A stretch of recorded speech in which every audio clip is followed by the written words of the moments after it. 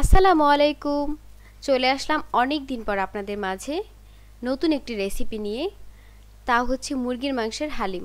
আশা করি আপনারা সকলেই ভালো আছেন, আমিও ভালো আছি, তাই তো চলে আসলাম।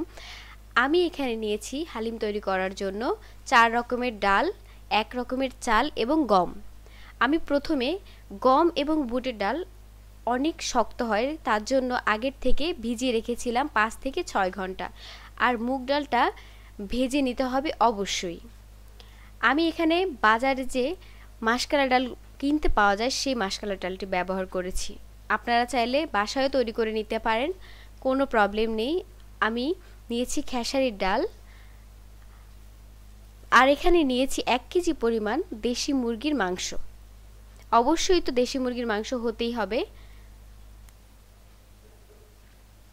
আমি প্রথমে একটি কড়াইয়ে তেল গরম করে নিয়েছি। আধা কাপ পরিমাণ তেল খুব ভালো করে গরম করে দিয়ে দিচ্ছি। এক কাপ পরিমাণ পেঁয়াজ কুচি। পেঁয়াজটা খুব মিহি করে কুচি করে নিতে হবে। এখন খুব ভালো করে ভাজবো আমি পেঁয়াজটাকে। দেখতে পাচ্ছেন, পেঁয়াজটা যখন অর্ধা অর্ধি ভাজা হবে, এই পর্যায়ে এসে আমি দুটো তেজপাতা মাঝখানে চিড়ে নিচ্ছি।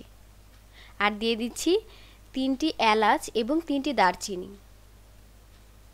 দিয়ে খুব ভালোভাবে পেঁয়াজ এবং গরম মশলা ভেজে নিচ্ছি। ব্রাউন করে ভাজতে হবে। পেঁয়াজটা কম ভাজলে অবশ্যই চলবে না, ব্রাউন করে ভাজতে হবে। ব্রাউন কালার চলে এসছে, দেখতে পাচ্ছেন। এখন আমি দিয়ে দিচ্ছি এক কাপ পরিমাণে পানি। পানিটা দিচ্ছি মশলাটা কষানোর জন্য। আপনারা তো অবশ্যই মুরগির মাংস রান্না করতে পারেন। তারপর আমি দেখিয়ে দিচ্ছি, দিয়ে দিচ্ছি স্বাদ অনুযায়ী লবং এবং আদা দুই চামচ পরিমাণ। দিয়ে দিচ্ছি রসুনের গুঁড়া দুই চামচ পরিমাণ। দিয়ে দিচ্ছি পেঁয়াজ গুঁড়া আড়াই চামচ পরিমাণ। অবশ্য আপনারা গুঁড়া না দিয়ে বাটাও দিতে পারেন, এতে কোনো স্বাদের কমতি হবে না। দিয়ে দিচ্ছি দুই চামচ পরিমাণ মরিচের গুঁড়া। দিয়ে দিচ্ছি জিরার গুঁড়া দুই চামচ পরিমাণ, হলুদের গুঁড়া এক চামচ পরিমাণ। আর দিয়ে দেব ধনিয়ার গুঁড়া দুই চামচ পরিমাণ। আমি এখানে সাধারণ মশলা ব্যবহার করছি, এক্সট্রা কোনো মশলা ব্যবহার করছি না।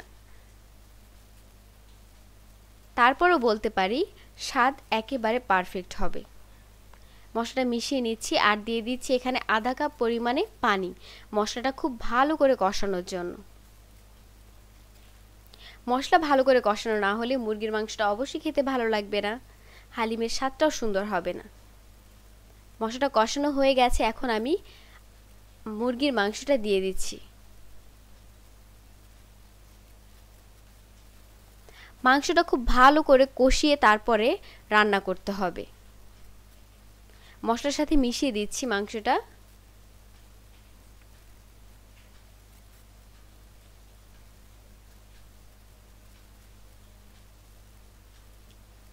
আসলে অনেক ক্ষেত্রে আমরা মনে করি মাংস রান্নার উপরে হালিমের স্বাদটা কিন্তু অনেকটা ডিপেন্ড করে। আমি মাংসটা রান্না হওয়ার পর্যন্ত অপেক্ষা করব আর এই ফাঁকে তৈরি করে নিচ্ছি ডাল আমি এখানে মিশ্রণ, ডালের মিশ্রণে এখানে চার রকমের যে ডাল ছিল, ডালটা, ডালটার মধ্যে আমি তিন রকমের ডাল সেদ্ধ করে নিচ্ছি। দিয়ে দিচ্ছি তিন কাপ পরিমাণে পানি ডালটা সেদ্ধ হওয়ার জন্য। মাসকালা ডালটা আমি ভিজিয়ে রেখেছি, যেহেতু গুঁড়া আমি বাজার থেকে কিনে এনেছি, তাই ভিজিয়ে রেখেছি আগের থেকে। এবং গমটা ব্ল্যান্ডার করে নেব। দিয়েছি লবণ স্বাদ অনুযায়ী সেদ্ধ হয়ে এসছে দেখতে পাচ্ছেন। আমি এখানে মুগের ডাল, বুটের ডাল এবং পোলার চাল, খেসারির ডাল সেদ্ধ করে নিচ্ছি। ব্লেন্ডার করে নিলাম, হয়ে গেছে ব্লেন্ডার করা। আমি একটি কড়াইয়ে ডাল, ব্লেন্ডার করা ডালটা দিয়ে দিচ্ছি এবং চার কাপ পরিমাণে পানি দিয়ে দিচ্ছি। দিয়ে মিশিয়ে দিচ্ছি পানির সাথে ডালের মিশ্রণটা। এই পর্যায়ে এসে আমি যে ভিজিয়ে রেখেছিলাম মাসকালার ডাল সেই ডালটা দিয়ে দিচ্ছি।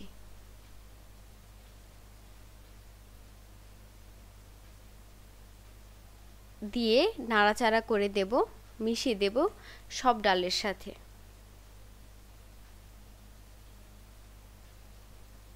আর দিয়ে দেব মশলা। আমি এখানে দিচ্ছি আদা গুঁড়া এক চামচ, রসুন গুঁড়া দেড় চামচ,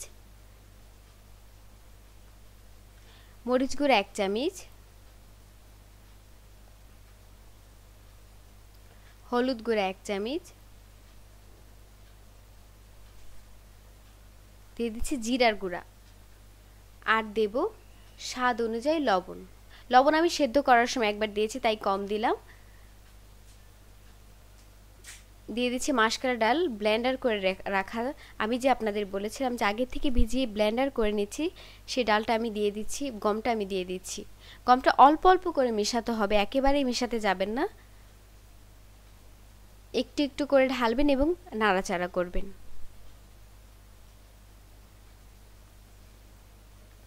পুরো ডালটা দিয়ে এখন আমি একটু নাড়াচাড়া করে, গম দেওয়ার সুবিধা হচ্ছে গমটা দিলে ঘন হয়। ডালের যে পাতলা একটা ভাব থাকে সেটা থাকে না, আস্তে আস্তে এটা যতই জাল পড়বে ততই ঘন হতে থাকবে। আমি পাঁচ থেকে দশ মিনিট জাল দেওয়ার পরে দিয়ে দেব মুরগির মাংস। দিয়ে দিচ্ছি আমি মুরগির মাংস রান্না করে রাখা।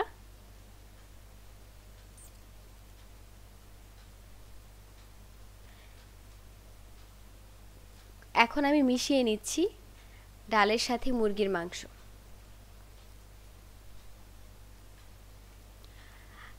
আমি গ্যারান্টি দিতে পারি, অবশ্যই মুরগির মাংস হালিম হলেও স্বাদের কোনো কমতি থাকবে না। আপনারা বাসায় অবশ্যই তৈরি করে খাবেন, কেমন হলো জানাবেন। এখন আমি পনেরো থেকে দশ মিনিট জাল দেওয়ার পরে নামিয়ে ফেলব। এখন আমি নামিয়ে পরিবেশন করে আপনাদের দেখাচ্ছি। তৈরি হয়ে গেছে খুবই সহজে মুরগির মাংসের শাহি হালিম।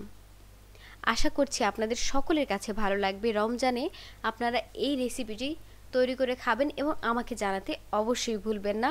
আর ভালো যদি লেগে থাকে তাহলে তো আমি আশা করতেই পারি আপনারা আমার চ্যানেলে লাইক কমেন্ট শেয়ার করবেন এবং সাবস্ক্রাইব করতে ভুলবেন না আরও নতুন অনেক ভিডিও পাওয়ার জন্য।